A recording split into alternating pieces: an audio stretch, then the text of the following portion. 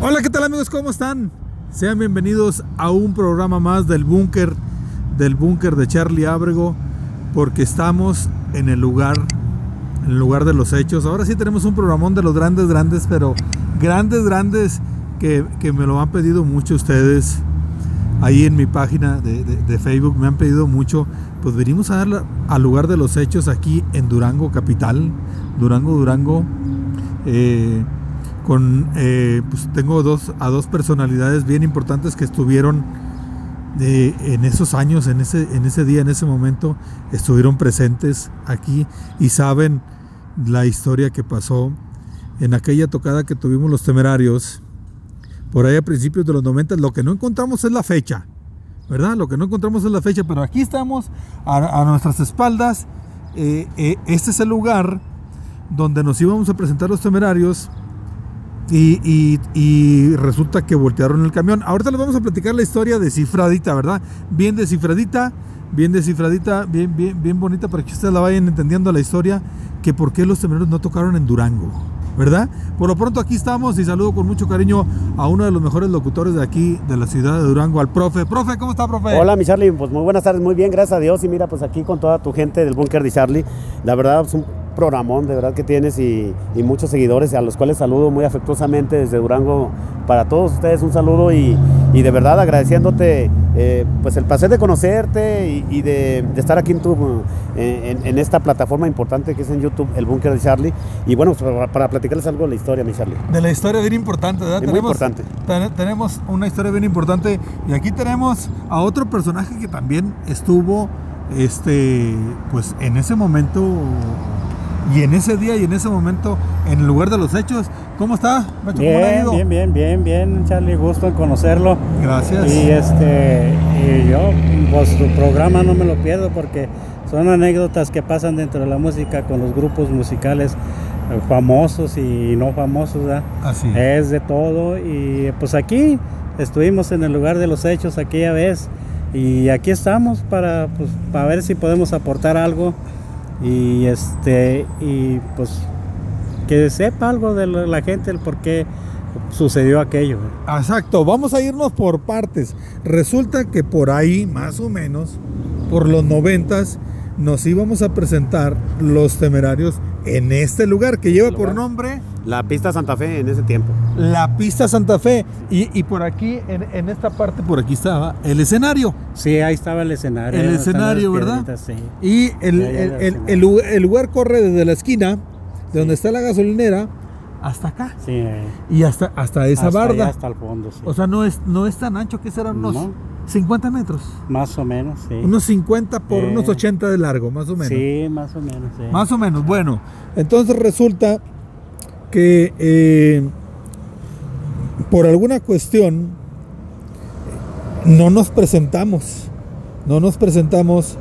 Y, y, pues al final de cuentas la gente se molestó y tiró el camión. El autobús, si no mal recuerdo, era la bala. El autobús que le decían la bala. Lo, lo- lo- lo tiraron. Lo tiraron y no nos presentamos. Y ahorita vamos a ir platicando los motivos porque creo esto, profe. Creo que esto viene desde más antes de los 90. Hay un problema más atrás. Así es. ¿Nos puede contar, profe? por Así favor? es, fíjate que, bueno, comentan que, que el, el grupo eh, anteriormente se llamaba La Brisa, eh, que en- ya en los 80, ¿verdad? Sí. Eh, no sé si que en el 87 adoptaron el nombre de los temerarios, más o Más menos. o menos Más por o menos, ¿verdad? por el 87, pero poquito antes se había pedido apoyo para la radio y, y no lo habían apoyado tanto al grupo La Brisa porque pues no era, pues no representaba realmente mucho. Eh, cuando cambian el concepto en el 87, que son los temerarios, ya empieza a hacerse más, más famoso el grupo. Mm. Y, y- pero no, no se apoyaba definitivamente en la radio. mm, Los desconozco ahorita cuál de las radios era, pero bueno, este, sí había una, una radio que no los quería apoyar. Eh, hubo un, un representante que, el que se encargaba de los eventos que vino precisamente a, eh, contactó a Adolfo y trataron, hicieron los trámites para que vinieran ya como los temerarios, ya no como la brisa. Así. Eh, ese problema se, se fue incrementando porque no había ese apoyo. Entonces, cuando ya son los temerarios, empieza precisamente ese, ese furor, ¿no? De que vinieran los temerarios de Durango. Sí. Entonces, ahí ya había ese antecedente de que no se quería apoyar al grupo La Brisa.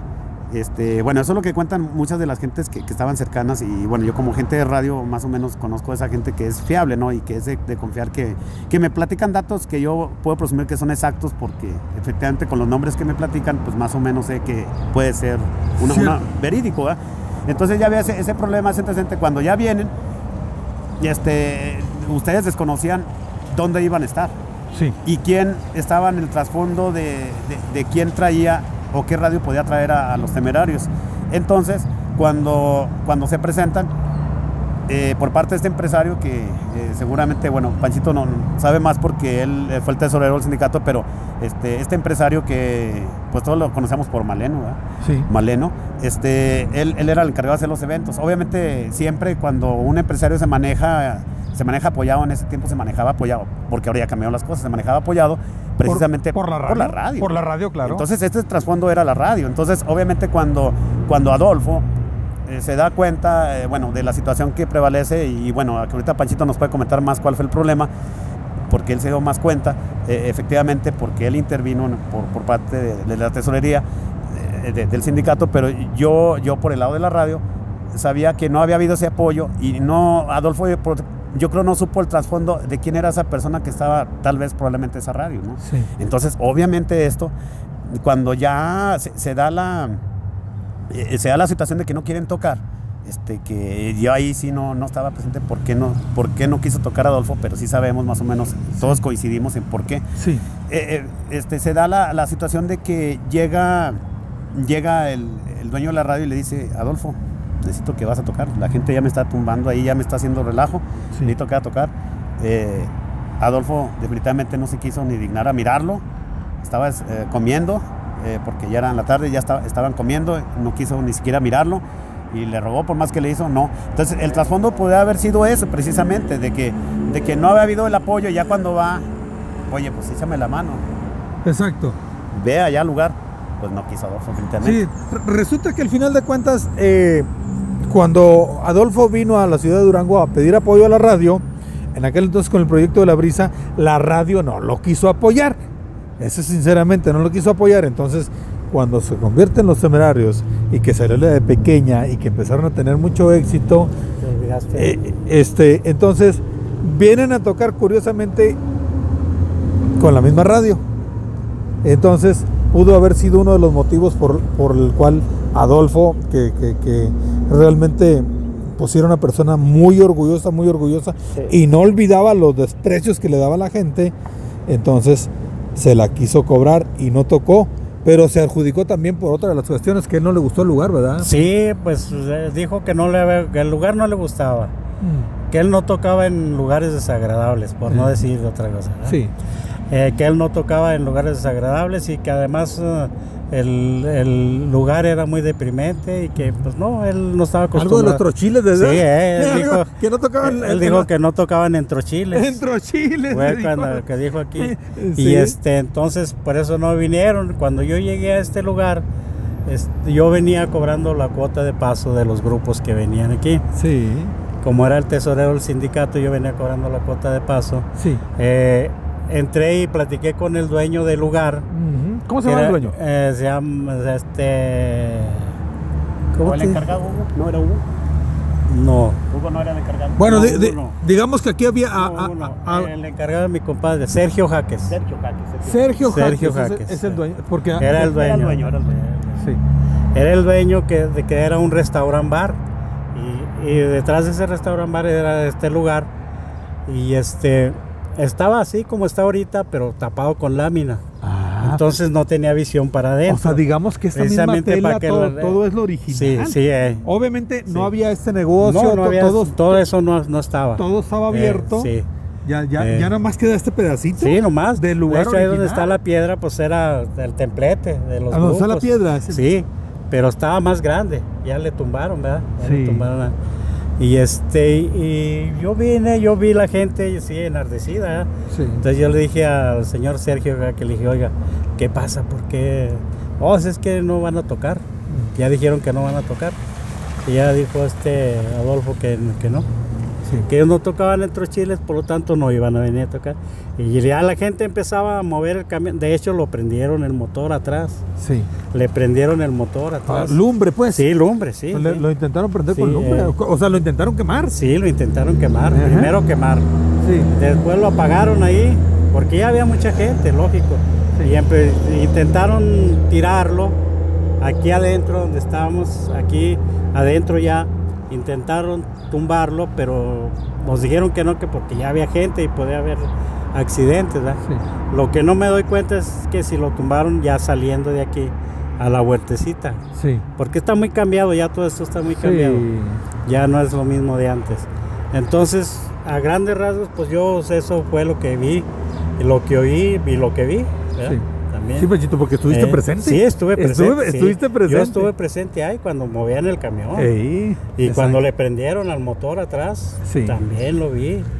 Exacto. Y, y la gente estaba enardecida, estaba enojada. Sí, la, la- la gente quedó muy sentida con los temerarios desde aquel entonces. eh, aunque años después, si no mal recuerdo, en el 2006 vinimos a la feria, que ahorita vamos a ir a ese lugar para recordarlo también y platicar algo de las anécdotas que pasaron. Pero sí la gente quedó un poco, eh, pues quedó un poco como que sentida con el grupo porque pues porque no tocamos y era raro, ¿no? Era, era muy raro. Yo, yo, yo recuerdo, profe, que nosotros estábamos en un hotel aquí cerca. O sea, nosotros no llegamos a llegar a. Nosotros como músicos no vinimos al evento. No, no, no, no, no, no. No. Ustedes estaban en, en el hotel, si no mal no recuerdo, el Aragón, ¿verdad, Pancho?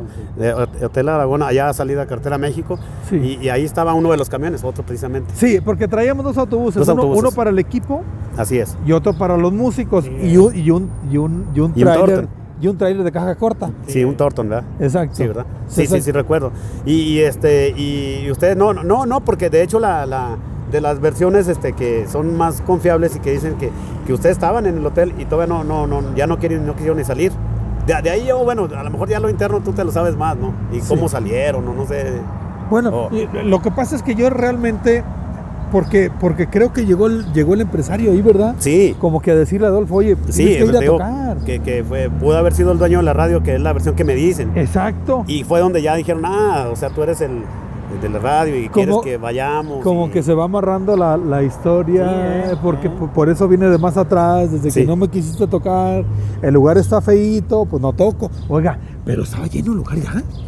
¿Qué, qué, qué, ¿Cuántas personas había? ¿Como unas dos mil ya adentro? No, sí, bueno, más o menos era el cupo, ¿no? Sí. Unas 3.000, 4.000 gentes, sí era el cupo. Sí. Porque sí se Sí, sí, llenaba. sí, sí, estaba un poquito No, no había, no había este obstáculos para que, que la gente no, no llegara parada la gente. ¿no? Sí, Pero pues lo que querían era escuchar los grupos, ¿verdad? claro. Eh, querían ver a los grupos y escucharlos. Exacto. Y más los temerarios que nunca habían venido, nunca habían venido y entonces pues era una sensación. Claro. Los temerarios cuando ya, era- ya, ya tenían cartel y todo. Sí. Y, y la- ya había gente, había mucha gente, aquí afuera y allá adentro, pues intentando eh, hacer que, que vinieran a tocar, ¿verdad? Exacto. O sea, la gente al final de cuentas no supo los motivos por los cuales Sí. los temerarios no se iban a presentar. Entonces, pues ellos enardecidos, enojados, ya habían pagado un boleto, no iban a tocar. Entonces empezaron a, a- a- a- o sea, a, intentar voltear el, el- camión, incluso hasta encenderlo. Y, y se dice que era un grupito de aquí de la colonia, Sí. pero apoyados pues, por- al final de cuentas por toda la gente, ¿verdad? Es que, fíjate, yo lo, lo comentaba con Pancho ahorita atrás de cámaras, este, estábamos diciendo que eh, cada, cada semana que hacían los eventos o cada 15 días que hacían los eventos, toda la gente de, de nuestra edad, este, bueno, un poquito, un poquito más grandes que, en este caso Pancho, que sigue siendo joven, pero, Sí. pero que había mucha, mucha gente más o menos ya de mi edad que veníamos y salíamos de aquí de, yo vivía a escasas tres, cuatro cuadras de tú, más o menos unas cinco Sí, más o menos, sí. toda la vuelta. ¿verdad? Entonces No, nos juntábamos toda la gente de aquí, aquí. o sea. Y, y- pero sí había un grupito aquí de gente que era no, no. difícil. Entonces, y de las arco, ¿eh? Y de Entonces, aquí de la Gamis. Y de la Gamis y de la Santa Fe. Entonces, probablemente yo no digo que ellos hayan sido, pero mucha gente de ellos participó. Pues que entre la bola, no vamos a aventarlo. Y digo, a lo mejor, eh, te voy a decir algo, Charlie. Mucha gente cuando vea este episodio van a comentar, seguramente. Van Sí, sí, decir, sí. va- Oye, va- van, a empezar, van a empezar a salir cosas porque en realidad van a salir. estamos tratando de, de, de- de saber. armar la historia. Así de, es. todo lo que pasó porque no, no, hace muchos años Sí. Y no hay una historia, no existe en la internet no, algo no que existe, nos diga. No, no, no existe. Y espérate, es que, es que pueden decir, no, el, el Pa- Pancho, Charlie, el profe están diciendo a lo mejor algo que no fue. Nosotros estamos haciendo lo interno de Sí, cómo más o menos acontecieron. vimos. Y lo que vimos, más el- el- ya lo de la gente que sintió en ese momento no lo sabemos qué es lo que van a expresar. ¿Qué van a decir? Cuando ya comenten, no, profe, es que yo en, en el 90 fue el mes tal. Exacto. Ahí nos da el dato exacto. Pues que, no- que, que nos ayude la gente a sacar la- el, el- el dato exacto, la, la- la fecha, la fecha, cuánto cobraban, qué pasó, si saben de algo, porque pues, nosotros estamos a- a- armando cabos, como dicen. Nosotros estábamos hospedados en un hotel, no, no veníamos nosotros al lugar del evento hasta, digamos, una hora antes de, de- de- de empezar el evento. Entonces nos llega el pitazo allá.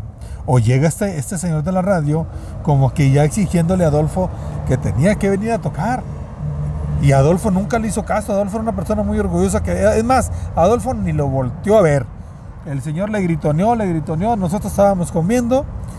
Y en ese momento cuando el señor sale eh, del, del hotel, en ese momento dijo Adolfo, vámonos. Agarramos nuestras cosas en cinco minutos y pisa y corre. Porque ya, ya, ya, ya la, ya la cosa está bien brava en, en- en el lugar. Ya están incendiando el- el camión. Ya lo voltearon, no sé qué tanto, y hay que correr de aquí. ¿Eso pasó, cierto o no? Sí, eso pasó, sí es cierto, sí. Sí, todo eso pasó. De, de hecho, pues de ahí mismo salieron, salieron, se fueron a Fresnillo, yo creo. ¿verdad? Nos fuimos a Fresnillo exactamente Fresnillo, esa eh. tarde. Lo- los eventos eran los domingos en la tarde, Sí, los domingos en la tarde. Sí, eran de, tarde, de tardeada. De cinco a diez, De sí. 5 a 10 de la noche. A veces duraban más, ¿verdad? cuando eran dos grupos. Sí. Duraban más porque tocaban una tanda un grupo y lo, lo otro, Sí. y luego otra y luego otra. O sea, eran cuatro tandas. Sí, lo que pasa es que eh, eh, cuando se viene el éxito de los temerarios, la radio los, los- los- los tenía que tocar porque los tenía que tocar, no había de otra, ¿verdad? no había de otra. Porque No. la- la- las costumbres eran, si tú no tocas a, a- a la canción que está de moda, pues se iba para otra estación, ¿verdad?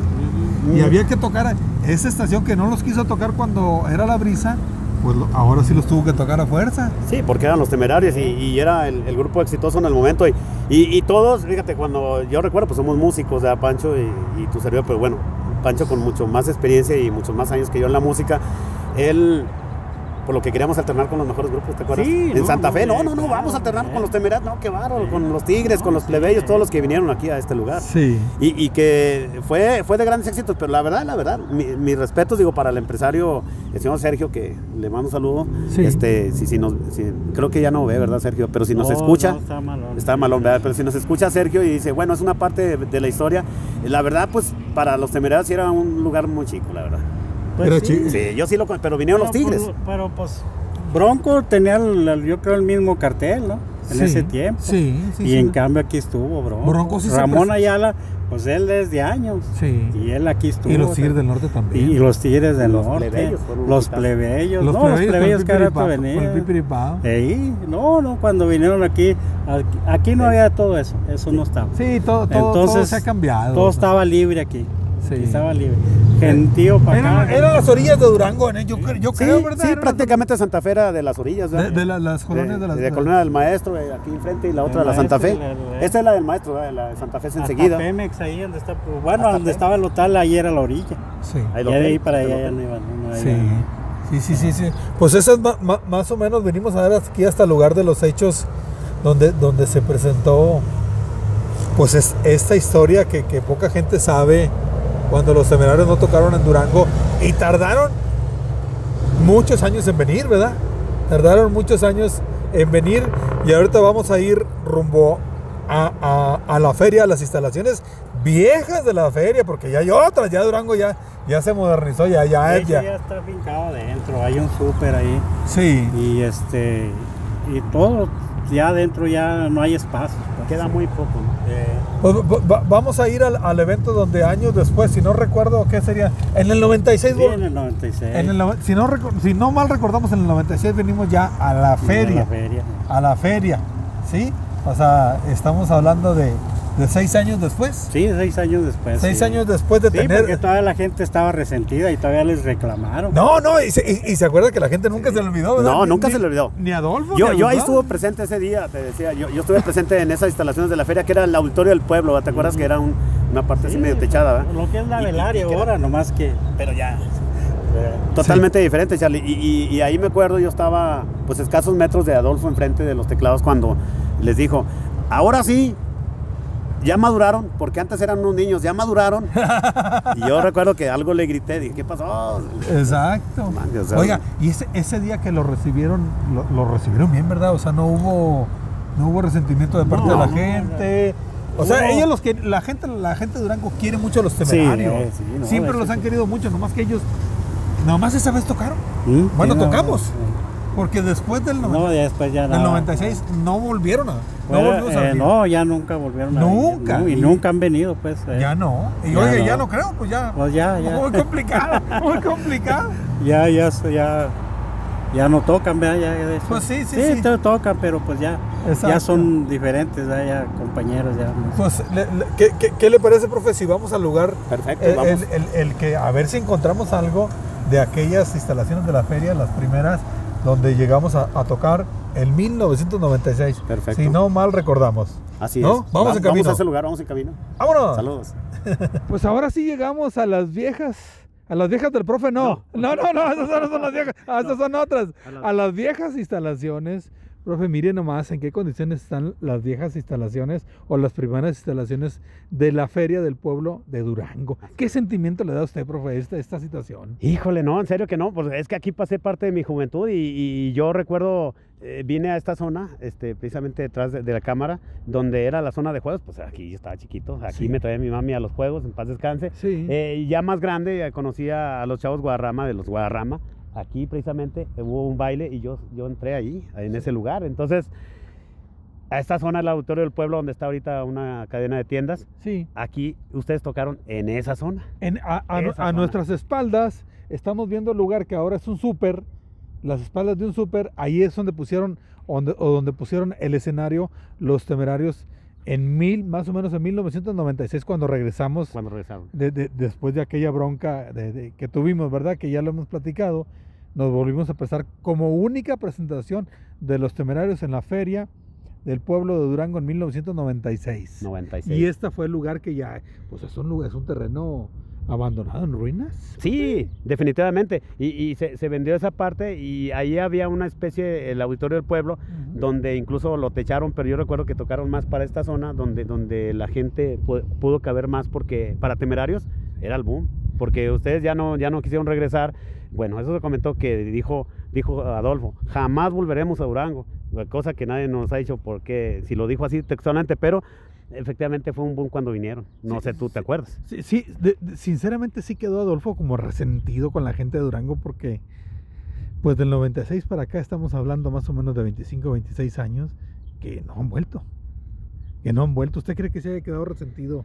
Sí, yo digo que sí, pero eh, te vuelvo a repetir, nosotros, Durango, nos quedamos con las ganas de verlos. Y más con los éxitos que siguieron sacando más adelante con, con ustedes. Sí. Este, quisimos escucharlos de, con, los- con el grupo, pero ya no tuvo la oportunidad, nunca tuvimos la oportunidad de, de ese acercamiento y, y de por qué no. Y sería cuestión de también de algún día saber esa versión de por qué realmente qué pasó. ¿Qué pasó en Durango? ¿Qué Pasó en ¿Por qué no volvieron? Porque yo, yo sí he sabido de, de empresarios de Durango que los han querido traer. Sí. Y no, nomás llegan hasta Torreón. Y podrían venir a Durango sin ningún problema, ¿verdad? Así Se es. podría venir. Sí, porque incluso ya, ya, ya hay nuevas generaciones que siguen todavía temerarios. Entonces, Sí. pues yo no me explico. Ah, mira, de los que participaron, te lo puedo asegurar, muchos, que según sé, ya murieron. Sí. De los que participaron y aventaron ese camión, sí. ya, ya nacieron, maduraron, como dijo Adolfo en su momento de ese día, ya maduraron, ya se les quitó los niños y ya se fueron. Pero, pero, pero siendo, siendo sinceros, profe, ya a la distancia, ya fríamente, sería el resentimiento será, el resentimiento que tiene Adolfo con, con, con la ciudad de Durango, será que la radio les negó el apoyo más o menos por el 88, 87, 86 por ahí, o que le hayan volteado el, el- el- autobús eh, eh, en aquel entonces. ¿Cuál será el, ya, ya, ya sacando una conclusión, profe, ¿cuál, cuál será que, que tiene ese resentimiento con Durango y pues después de la feria esa ya no volvió? Ni por la feria, como dice. Ni por la feria. Fíjate que yo digo que es una serie de factores, ¿no? Yo digo que sí influyó mucho el hecho de quién, quién los traía en ese tiempo, quién les quedó mal, pero también el hecho de, con la misma gente de Durango, de un grupo, ¿no? O sea, de un grupo de manifestantes que, que, que si tú platicas con varias personas en Durango, todos te van a decir lo mismo. ¿Cómo es que les voltearon el camión porque no quisieron tocar y no quisieron tocar? No, saben esa, no sabemos el por qué realmente así, pero yo digo que esa es una de las causas principales y yo digo que el resentimiento se agrandó más con esa situación de que, de, de que él eh, vio que le, le dañaron su equipo y, y ya no ya no hubo mm, bueno digo me llegó hasta la otra versión de que había resultado un poquito dañado su papá digo con todo el respeto pero yo no creo eso o sea yo la verdad son simplemente rumores ya. Sí, a- hay que aclararle a nuestra gente que se dice, se rumora, dice la leyenda, que en ese autobús que, que llegó a voltear a la gente y que le, le intentaron en- pues, encender fuego, estaba don Julio, el papá de Adolfo y de Gustavo ahí arriba, que estaba atrapado en ese autobús, dice la leyenda, y que de ahí se nos enfermó. Así es. Y De- que por eso era, se agrandaba más el resentimiento con Durango, supuestamente. Yo digo, no lo podemos asegurar, no estábamos. Así presentes. dice la leyenda. Así dice la Nosotros estamos leyenda, o sea. tratando de, de- de- de explicarles y de, de llegar a una conclusión visitando todos estos lugares donde, donde pues fue un estado muy, muy, muy curioso para los temerarios porque pues solamente una presentación, un grupo tan exitoso y tener una presentación en tantos años de, de éxito, porque a Torreón íbamos pues a lo mejor cada año, cada dos años y así acá, es más hasta Chiapas, hasta Quintana Roo y a, a- a todos los lugares y Durango tiene algo especial. Tuvo algo especial para Adolfo Ángel que no quiso regresar. Así es, y de verdad no sabemos mm, realmente si eso fue o esa serie de factores que, que agrandaron más la difícil situación de que ya no quiso regresar a Durango y no quiso regresar. Y te lo digo porque conozco a un empresario que lo quiso traer y dijo que no a Durango no, No, quiere, venía. no quiere, dice Y que te no lo digo así de viva voz del empresario, no quiero ir a Durango. O sea, él no quiere venir a Durango. No. Él no quiere venir a. Durango. Pues aquí estamos a espaldas, donde se puso el escenario de la única presentación que tuvieron los temerarios en Durango, que más o menos tuvo que haber sido por el 96. más o menos. Aquí están, este lugar ya está en ruinas. Esta fue la primera feria que se. que las instalaciones. Esta fue la primera instalación de la feria de Durango. Y aquí nos presentamos con los temerarios como única presentación. Pues ya les hemos más o menos eh, eh, hecho como, como armado el rompecabezas, el rompecabezas del por qué para que la gente más o menos entienda de, de los motivos de todo lo, lo- lo que ha sucedido con los temerarios y Durango. Profe, yo le agradezco muchísimo que me haya acompañado en esta en este recorrido. Gracias. Este, muchísimas gracias, profe. No, yo te agradezco de, de hacerme partícipe de este programa tan, tan famoso que tienes y bueno, sobre todo, bueno, ya le podemos decir eh, programa o, o podcast o no sé, ya no Ya un sé, poquito de ya- todo. Ya sí, un poquito de todo, pero de verdad a todos esos seguidores que tienes les mando un saludo muy especial y desde Durango Ricardo Luna, el profe, les saluda y, y pues los invito para que vean el búnker de Charlie, que es un excelentísimo programón. Y muchísimas gracias a toda la gente que hizo posible Sí. que estuviéramos aquí en Durango y a toda la gente que ha participado. Eh, pues ha sido un, par de días Así es. de, de- de- de trabajo y a toda la gente que participó, a toda la gente de Durango que me he encontrado yo en la calle. Charlie, que me reconoce, ¿por qué no vinieron a Durango y por qué? ¿Por qué no volvieron a Durango? Pues aquí estamos este, llevándoles hasta, hasta, su, hasta su casa, hasta su celular, hasta su computadora, eh, el contenido que por qué los temerarios no volvieron a Durango, ¿verdad? Así es. Profe, Muchísimas gracias a todos y que Dios me los bendiga y les mandamos un abrazote fuerte desde aquí, desde las tierras de Durango. Gracias. ¡Ánimo!